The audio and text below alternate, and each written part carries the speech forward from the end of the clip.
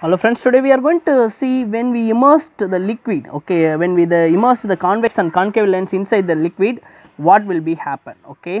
So first case, the refractive index of A to G, that means uh, air to glass is equal to refractive index of A to liquid, okay.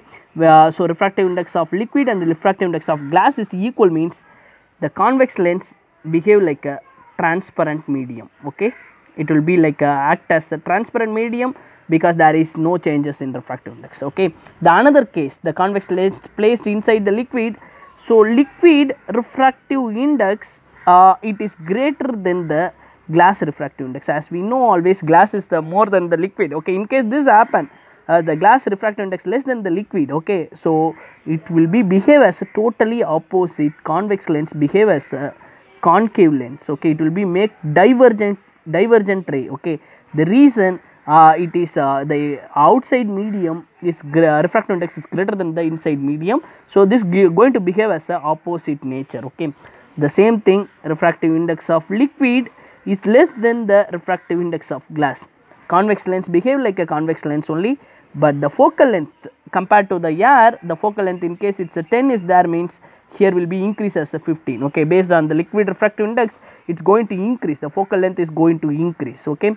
This is going to happen uh, with the three different case. When the convex lens immersed, immersed into the liquid both this refractive index equal means it will be act as a transparent medium.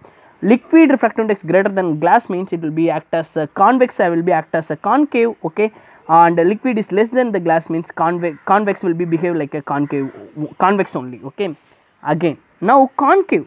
So the same thing liquid refractive index is equal to glass refractive index. The concave lens behave like a transparent medium. Okay it will be light individually goes straight. Okay. So we'll take liquid refractive index greater than the glass refractive index. That means this will be make the converge. Okay. So it is already we know it is divergent lens. Okay it's going to converge the lens. The reason the refractive index is changed. We are taken as a opposite case. Okay. The same thing refractive index of liquid is less than the air okay? So it's less than the glass okay? That means it's going to behave as a normal it's going to behave as a concave lens okay? Thank you